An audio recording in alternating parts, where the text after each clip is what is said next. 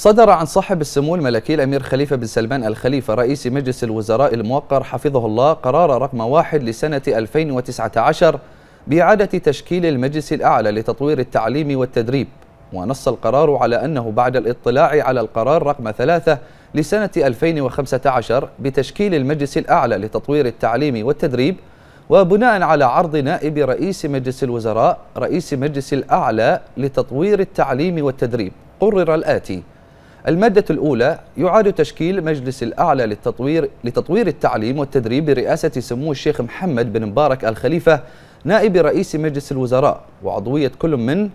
وزير التربية والتعليم وزير المالية والاقتصاد الوطني وزير العمل والتنمية الاجتماعية وزير شؤون الشباب والرياضة رئيس مجلس إدارة هيئة جودة التعليم والتدريب رئيس مجلس إدارة صندوق العمل الرئيس التنفيذي لهيئة المعلومات والحكومة الإلكترونية رئيس غرفة تجارة وصناعة البحرين وتكون مدة عضوية المجلس أربع سنوات قابلة للتجديد لمدد أخرى مماثلة.